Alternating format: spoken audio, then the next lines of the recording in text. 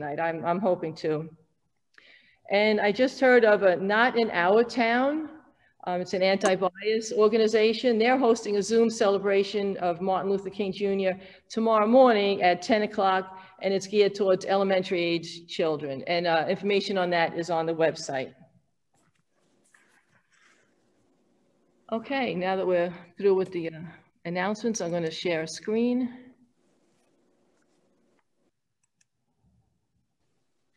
Wrong screen. Sorry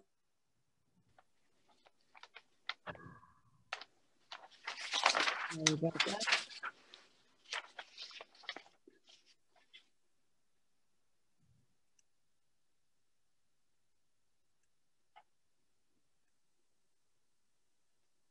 Hmm, I don't understand why we're.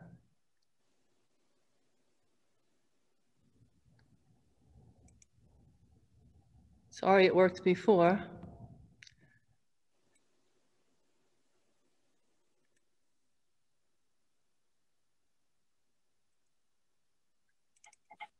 There we are.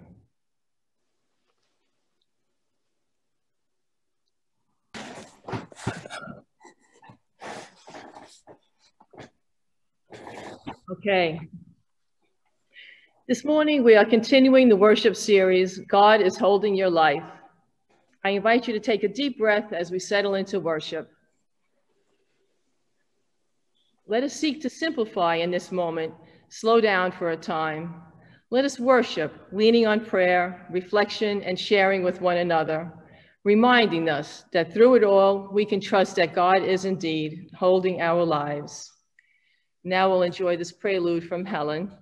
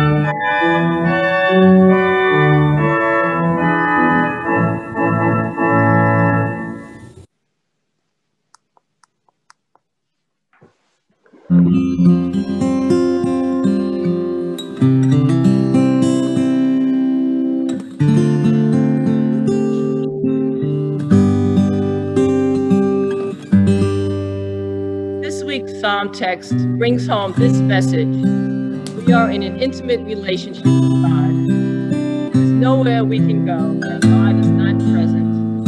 No state of our being that results in our being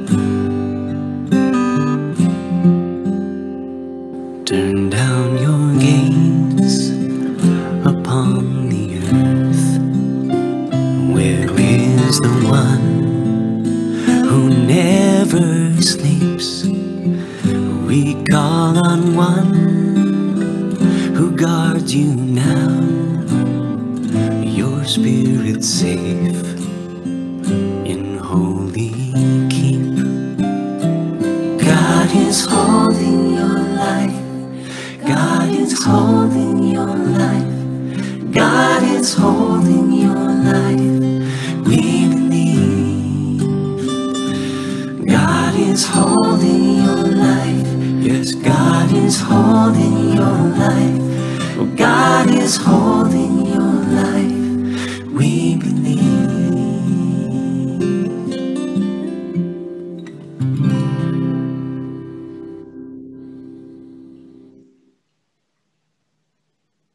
Now, Please join me in the opening prayer.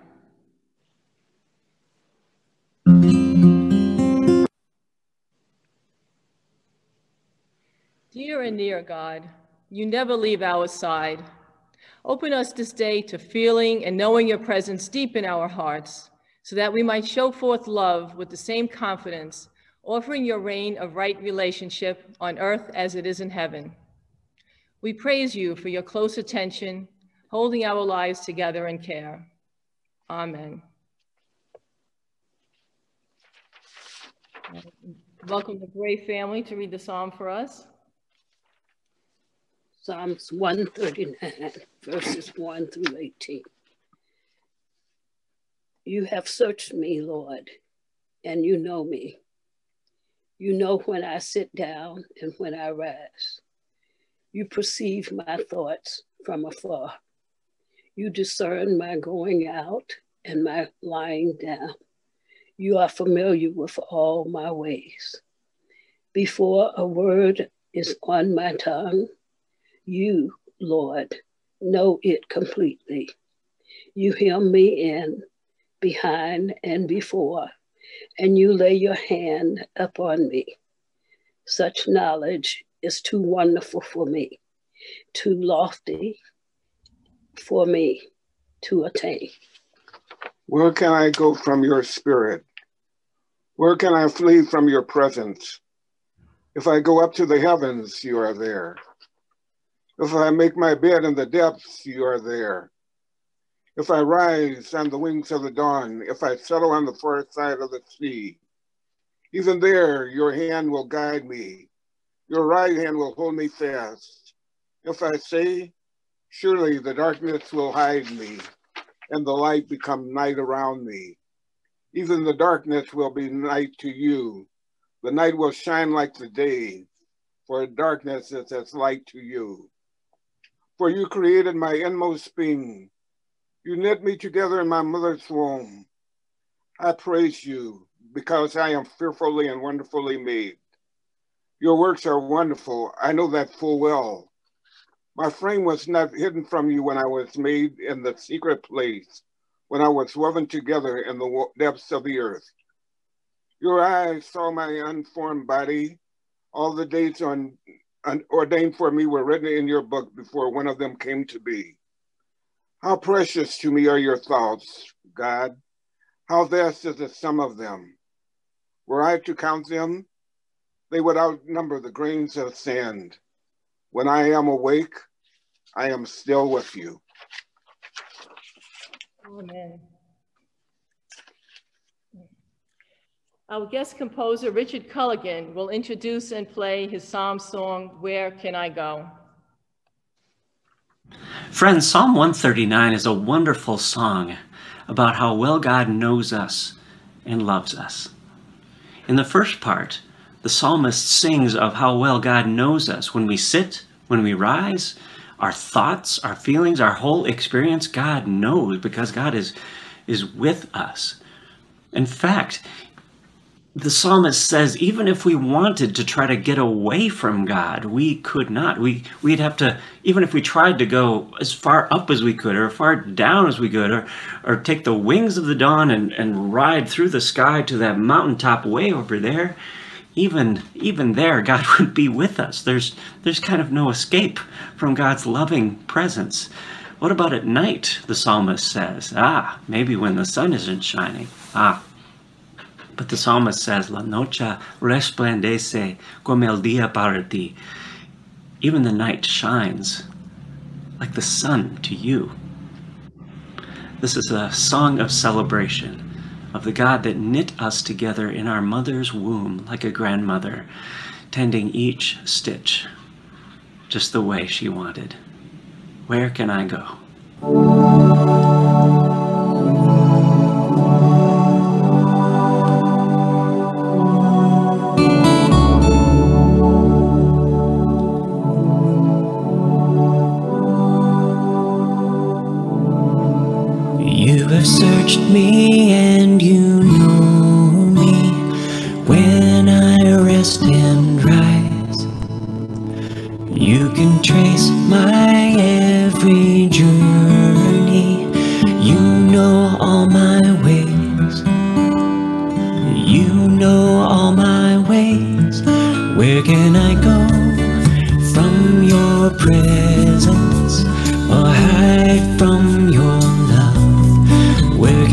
Go from your presence or hide from your love? Now before I left my mother, nurtured in her womb, there you met my life together,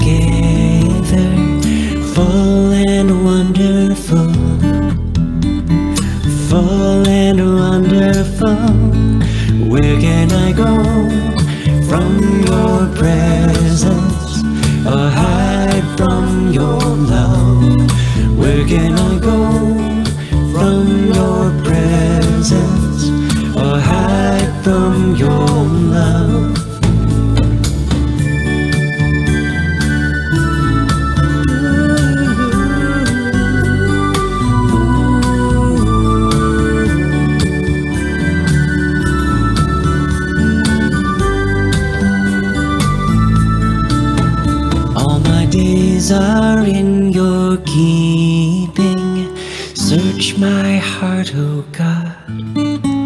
May your Holy Spirit fill me. I will bear your heart. I will bear your heart.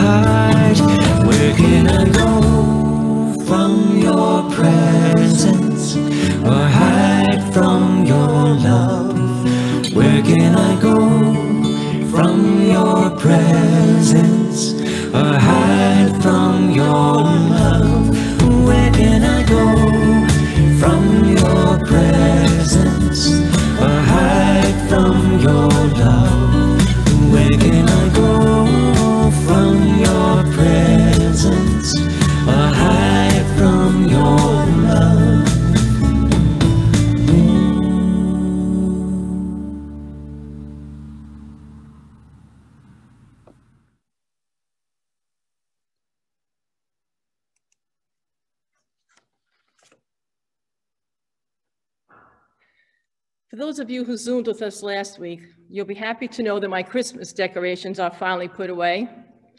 Now it's time for us to work on our New Year's resolutions.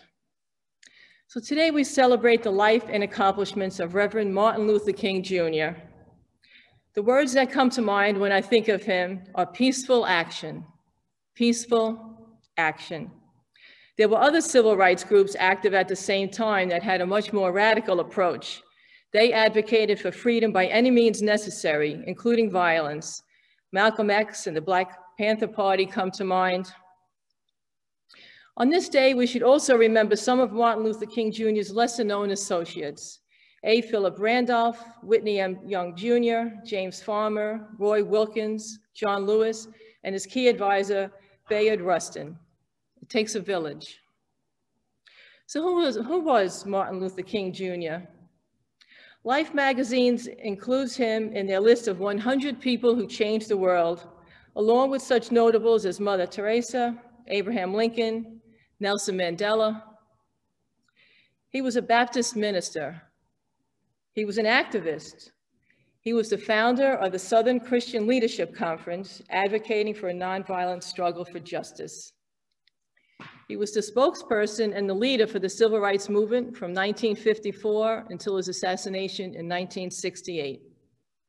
He was the organizer of nonviolent protests, the Montgomery bus boycott, the March on Washington for Jobs and Freedom, August of 1963, five-day Selma to Montgomery March in 1965, the Chicago March in 1967.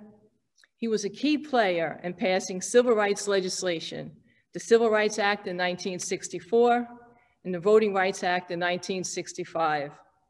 He was awarded the Nobel Peace Prize in 1964 for his nonviolent resistance to racial inequality in America. He was a husband and a father. He was always advocating for civil and economic rights and an end to racism. I'd like to share with you several quotes from his, his famous I Have a Dream speech, given from the steps of the Lincoln Memorial during the 1963 march. I had forgotten how powerful it is. I really found it difficult to find just a few sentences to share with you, so I would encourage you to Google it and read, read the speech in its entirety. I have a dream that one day this nation will rise up and live out the true meaning of its creed. We hold these truths to be self-evident, that all men are created equal. I have a dream that one day on the red hills of Georgia, the sons of former slaves and the sons of former slave owners will be able to sit down together at the table of brotherhood. I have a dream that my four little children will one day live in a nation where they will not be judged by the color of their skin, but by the content of their character. And when this happens, when we allow freedom to ring, when we let it ring from every village and every hamlet, from every state and every city, we will be able to speed up that day when all of God's children, black men and white men, Jews and Gentiles, Protestants and Catholics, will be able to join hands and sing in the words of the old Negro spiritual, free at last, free at last. Thank God Almighty, we are free at last. As I was researching the life of Martin Luther King Jr., I was reminded of how Jesus worked in this world. He could have come in guns blazing, become a powerful ruler, a mighty king, a mighty warrior. Indeed, that is what the Hebrew people were expecting in their Messiah. But he chose to come as the Prince of Peace. Peaceful action works. In Psalm 139 that the Gray family read to us this morning, we hear that God is always there for us. Where can I go from your spirit? Where can I flee from your presence? If I take the wings of the morning and dwell in the uttermost parts of the sea, even there your hand will lead me and your right hand hold me fast. Indeed, the name of our sermon series is God is Holding Your Life. But what does God call us to do for him? John Wesley, the founder of Methodism, was an activist, caring for the poor, prisoners, widows, orphans. He worked to remedy social injustice including urging the abolition of slavery, setting the course for future generations of Methodists. Our current day bishop, Bishop Bickerton, has called racism the second pandemic. Our New York annual conference is offering many opportunities to learn and to act, including the Zoom conference-wide lady celebration that I attended yesterday. There were over 170 participants from the New York, Connecticut area. The theme was Stronger Together. Much of the discussion was based on the book Black and White, Disrupting Racism One Friendship at a Time by Teesha Hadra and John Hambrick. Teesha is a young black woman, John a not so young white man. They forged a friendship and they share with us in this book what they've learned through their friendship. So I highly recommend the book. Uh, it's an easy read, very readable, lots of concrete, achievable suggestions for action. And doesn't it make sense to work towards justice and equality by building friendships? I'd like to share a quote from the book. The world needs an activism rooted in the gospel and driven by the Holy Spirit. Ask how God might be leading you to engage in some of the problems you have identified. The bishop earlier this week sent a letter calling us to a time of deep prayer this weekend. He asks us to speak out against evil and to be bold in proclaiming love. Resist evil, injustice, and oppression in whatever forms they present themselves. We also acknowledge the deep anguish, hurt, fear, and fatigue that the events of the last few months have caused. So Martin Luther King Jr. was an integral part of achieving rights for people of color. We've come a long way, but there's more work to be done. So who's continuing his work? It takes a village. My New Year's resolution is to learn more how I can work toward a world where all people are not just created equal, but also treated equal. Amen.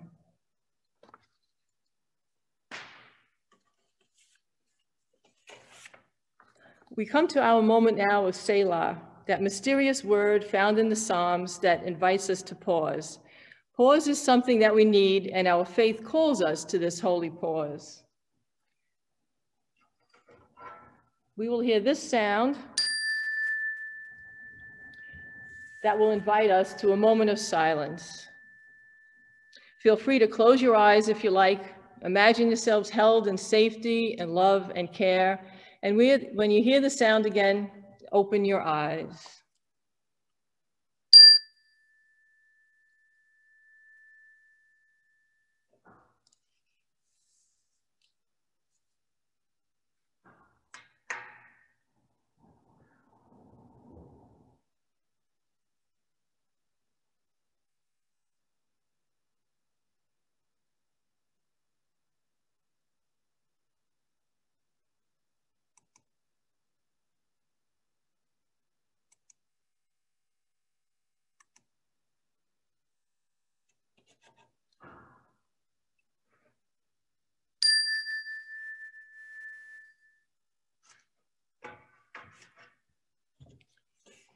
Each week we'll have a moment to write prayer concerns on a small pieces of paper and then place them in a container, a symbolic action of placing them in God's hands, in God's care.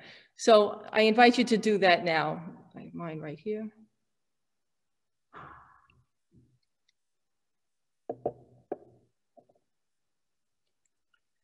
Let the people say, Selah, Selah.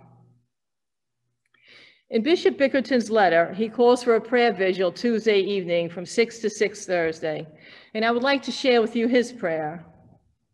Let us pray for our country, our church, our world, and all the people in it. Let us gather to pray for the transition of power in this country and for the Biden-Harris administration. Let us pray for racial justice and an end to discrimination and hatred. Let us pray for those hospitalized and for families that have lost loved ones, many of whom we know by name. Let us pray for frontline workers and pharmacists that are administering vaccines. And let us pray for one another, acknowledging that the load is heavy and the burden is great. So I invite you to unmute yourselves as we continue our prayers. I will offer a category of prayer and then we'll have a brief pause. And then I invite you to name the people that you would like to pray for. And I do enjoy how we all raise up our voices all at the same time. Um, unity, unity in prayer, but God hears all of our prayers.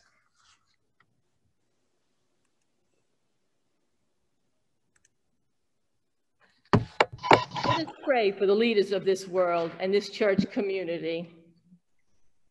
Pastor Betty, For Helen, Donald Trump, Um, Kathy, for, uh, for Pearl Helen, Mother, for Hip Jane. and Kathy I pray for Helen, a peaceful Tuesday. a peaceful Tuesday.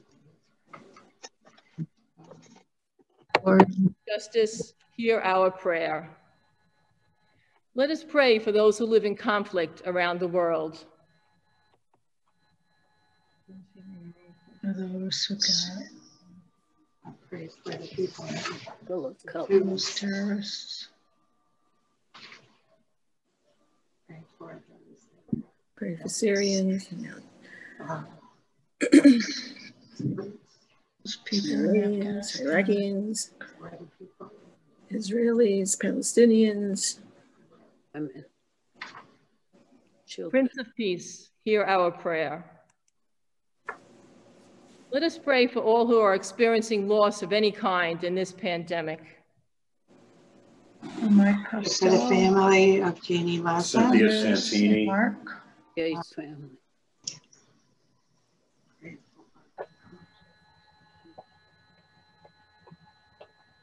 Comforting healer, hear our prayer. Let us pray for those who are homeless, hungry, and alone.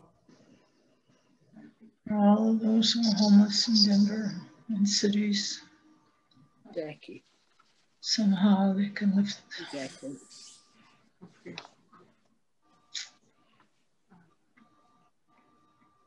Emmanuel, God with us, hear our prayer.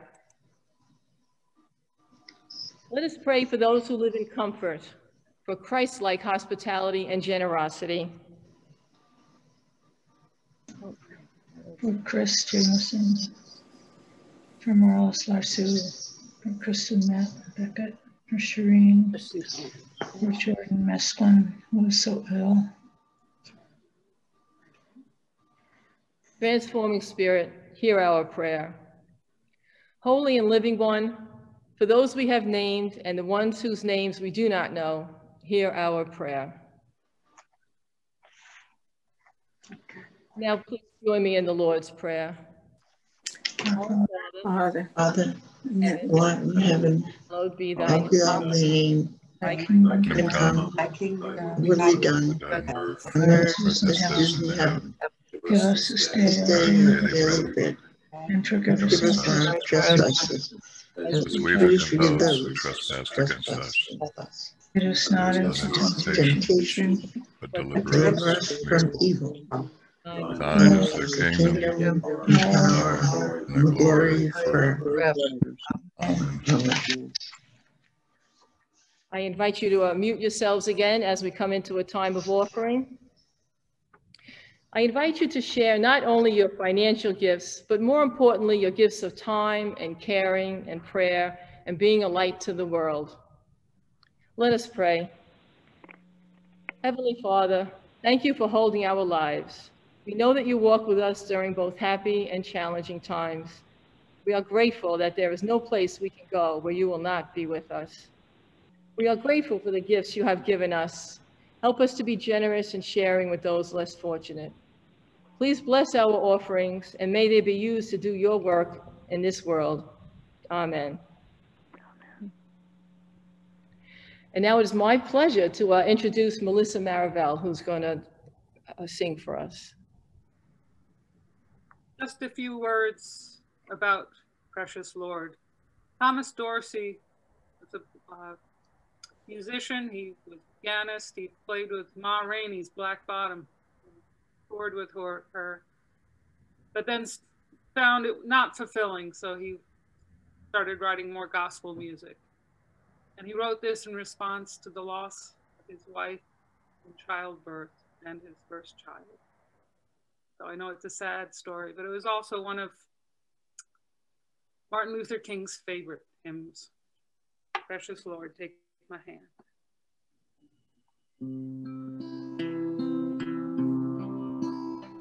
Precious Lord, take my hand, lead me on, help me stand I'm tired. I'm weak, I'm. Through the storm, through the night, lead me on to the light. Take my hand, precious Lord, lead me home. When my day grows drear, precious Lord, linger near. When my life is almost gone, hear my cry, hear my call. Hold my hand lest I fall. Precious Lord, take my hand, lead me home. When the darkness appears and the night draws near and the day is past and gone.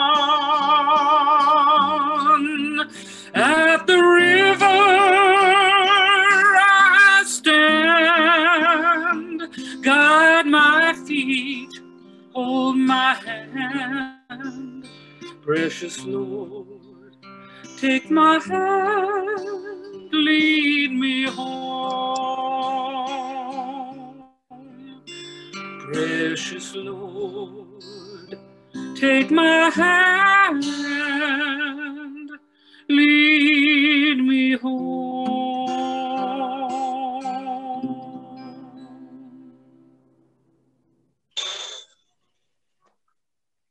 Melissa, that was beautiful. Thank you so much. Wow. I offer now this benediction. Now go in the knowledge that God is holding your life, even as we hold each other. You are not alone. You are loved. Amen. Now we'll close with a postlude from Helen, and then we'll have our credits, and then uh, you're welcome to unvi- uh, unmute yourselves and uh, wish each other a good week.